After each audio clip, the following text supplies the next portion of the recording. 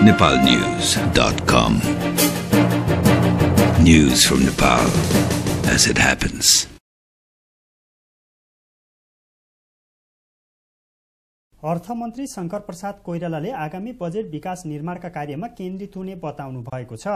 सोमबार अर्थ मन्त्रालयमा संचारकर्मीहरूसँग कुरा गर्दै मन्त्री कोइरालाले यो सरकार कुनै पार्टीको विचारमा आधारित नभई स्वतन्त्र सरकार भएकाले विकास निर्माणमा केन्द्रित गरी बजेट ल्याउने बताउनुभयो कुनै एउटा चाहिँ राजनीतिक दलको घोषणा पत्रमा केन्द्रित हुनुपर्ने बाध्यतामा नरहेको हुनाले हामी एउटा स्वतन्त्र र निष्पक्ष हिसाबले एउटा चाहिँ मुलुकका मूलभूत विकास र निर्माणका र आर्थिक विकासका एजेन्डाहरूमा केन्द्रित रहने भएको हुनाले मूलत हाम्रो बजेट चाहिँ विकासमूलक बजेट रहने कुरा म यहाँलाई निवेदन गर्न चाहन्छु।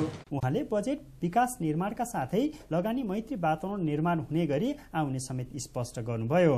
खास गरी यो विकास निर्माणका कुरालाई बढी केन्द्रित गर्ने खास गरी यो राज्यका साझा राष्ट्रिय विकासका एजेन्डाहरूलाई अगाडि बढाउने कुनै पनि राजनीतिक प्रकृतिका कार्यक्रमहरूलाई चाहिँ हामी अगाडि नबढाउने र खास गरी यो लगानी मैत्री वातावरण निर्माण गर्नको लागि सरकार र निजी क्षेत्रको एउटा विश्वास बढाउने किसिमका कार्यक्रमहरूतर्फ बढी लक्षित हुने सोचमा हामी रहेका छौँ। उहाँले विगत केही समयदेखि समयमा बजेट नआउँदा अर्थतन्त्रले सङ्कटमा परेको भन्दै त्यसको सुधारका लागि पनि बजेट मार्फत सक्दो जोड दिइने दावी गर्नुभयो।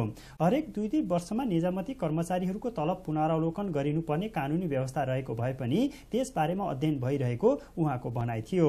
उहाँले श्रमजीवी पत्रकार ऐन कार्यान्वयन गर्नुका साथै यस क्षेत्रको विकासका लागि पनि बजेट मा उचित स्थान दिइने स्पष्ट गर्नुभयो।